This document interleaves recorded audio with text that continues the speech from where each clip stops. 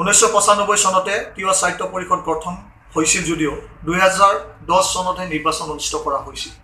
কিন্তু দুৰ্ভাগ্য কথা হ'ল যে আইন শৃংখলাজনিত পৰিস্থিতি কাৰণ দোহাই দি এই ছয়টা সমষ্টিক স্থগিত ৰখা হ'ল। তাৰ ফলত ডিমৰীয়া ৰাইজে উন্নয়ন পুঁজি তথা বিকাশৰ ক্ষেত্ৰত বঞ্চিত হৈ থাকিব লগা হ'ল। সেয়েহে ডিমৰীয়া তথা কামৰূপ মহানগৰৰ দুহেজাৰ দহ চনত যে যি নিৰ্বাচন স্থগিত ৰখা হ'ল এই ছয় সমষ্টিৰ নিৰ্বাচনৰ কাৰণে বাৰম্বাৰ তিৱা ছাত্ৰ ছাত্ৰ সন্থাকে ধৰি সকলো জাতীয় দল সংগঠন ডিমৰীয়া ৰাইজে দাবী কৰি আহিছিলে। সেই সময়ত চৰকাৰে যে কোনো ধৰণৰ এই নিৰ্বাচনৰ পোষকতা নকৰিলে। তাৰ কাৰণে আমি গণতান্ত্ৰিক বিশ্বাসী আৰু ন্যায়ৰ ওপৰত বিশ্বাসী ৰাখি আমি দুই হাজাৰ পোন্ধৰ চনত গুৱাহাটী উচ্চ ন্যায়ালয়ৰ ওচৰত দ্বাৰস্থ হ'লোঁ আৰু সেই মৰ্মে দুই হাজাৰ ঊনৈছ চনত দুহেজাৰ ঊনৈছ চনত এক নৱেম্বৰ তাৰিখে আমাৰ ৰায়ৰ প্ৰতি ৰায়দান কৰে। আৰু সেইকাৰণে আমি উচ্চ ন্যায়ালয়কো সদতীয় ছাত্ৰ সন্থাৰ পৰা ধন্যবাদ জ্ঞাপন কৰিছোঁ। আৰু ধন্যবাদ জ্ঞাপন কৰিছোঁ যিহেতু নিৰ্বাচন আয়োগে ভাৰতীয় নিৰ্বাচন আয়োগে দিন তাৰিখ ঘোষণা কৰি নিৰ্বাচন অনুষ্ঠিত কৰাৰ কাৰণে আমি তেখেতসকলকো সদতীয়া ছাত্ৰ সন্থাৰ পৰা আমি ধন্যবাদ জ্ঞাপন কৰিছোঁ।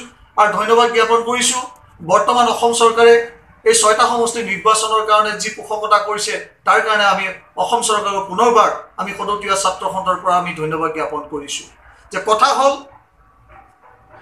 আমি তিৱা সাহিত্য পৰিষদত থাকিলে যিসকলে অনুভৱ কৰি আছে যে তিৱাসকলে অধিক ক্ষমতা ভোগ কৰিব বুলি ভাবি আছে তেনে কথা কোনো চিন্তা কৰিবলৈ প্ৰয়োজন নাই। কাৰণ দুহেজাৰ পাঁচ চনতেই তিৱা ৰাভা মিচিং এই তিনিখন পৰিষদকে সংশোধন ঘটাই ইয়াত জনজাতি সাহিত্য পৰিষদ হিচাপেহে মৰ্যাদা প্ৰদান কৰা হয়। ই কেৱল তিৱা ৰাভা মিচিং সাহিত্য পৰিষদ নামকৰণহে ৰখা হৈছে।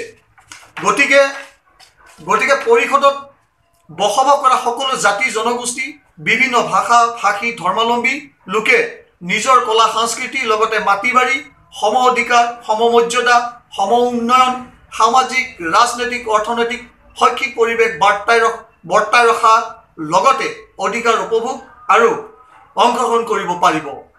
আজিও যিসকলে তিৱা সাহিত্য পৰিষদৰ ভিতৰত থাকিলে নিজৰ অধিকাৰৰ পৰা বঞ্চিত হ'ব বুলি ভুল অনুভৱ কৰি আছে। সেইসকলক মই হাতযোৰ কৰি অনুৰোধ কৰিব বিচাৰিছোঁ আপোনালোকে কোনো কাৰণতে ভয় সংখ্যা সন্তেক কৰি থাকিব নালাগে। ইয়াত বসবাস কৰা সকলো শ্ৰেণীয়ে সুৰক্ষিত হৈ থাকিব পাৰিব।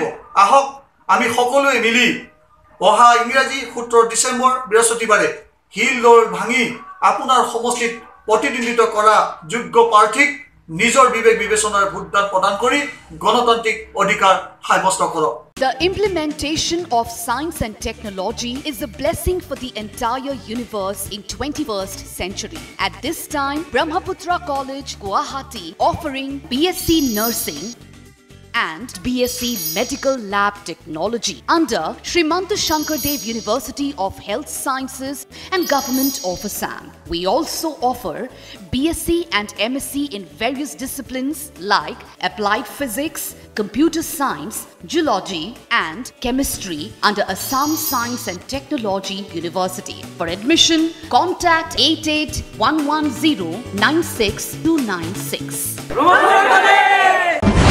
News Nest. We are unstoppable.